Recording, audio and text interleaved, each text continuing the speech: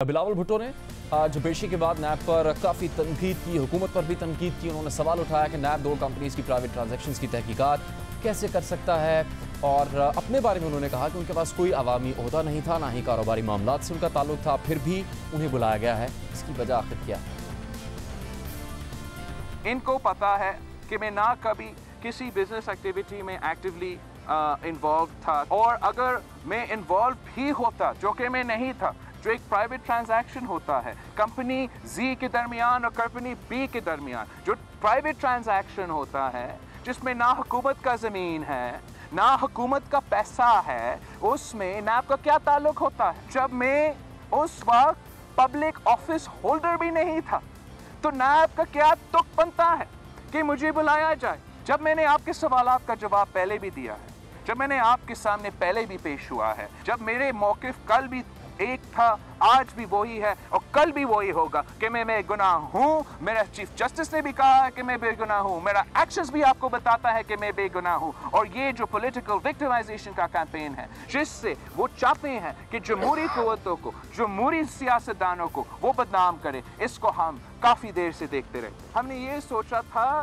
कि नैब वाले एक साल उम्र का बच्चा पे कैट केस नहीं बनाएँगे।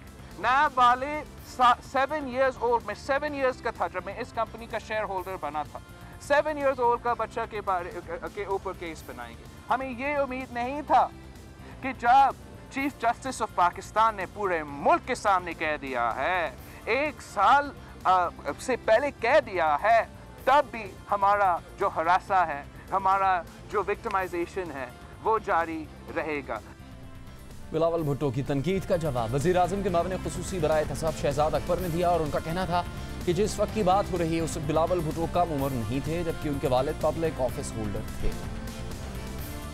एक आम शख्स अगर एक तहकीकती इदारे के सामने, ये तो नैब है, पुलिस के सामने झूठ बोले तो उसको फ़ौरन उठा के जेल में बंद कर दिया जाता है। ये तो ना सिर्फ़ वहाँ झूठ बोलते हैं, बाहर आके झूठ बोलते हैं कि मैं मासूम बच्चा हूँ। और दूसरी बात ये ये सात साल सात साल जब कंपनी इनकॉर्पोरेट हुई थी, आप सात साल के थे। हजूर, आप जिस वक्त ये सारा धंधा चल रहा था, उस वक्त 2011 की बात है 12 की बात है। और इस केस में जो आपने पब्लिक ऑफ़िस होल्डर की बात की है कि मैं तो प्राइवेट सिटीजन था, मैं तो हुक्म में नहीं था। देख लीजिए कि इस केस के अंदर आपके साथ को क्यूज कौन है? आपके वालिद और आपकी फुपी वो भी डायरेक्टर हैं जरदारी ग्रुप कंपनी के अंदर। तो हजूर इसलिए आपको बुलाया था। आपकी तबीयत पर इतना गिरा गुजरता है कि अगर आपको बुला लिया जा, इसको इतना बुरा ना मनाया करें, तफ्तीश के अंदर शामिल हो ताकि आपका नाम क्लियर हो सके।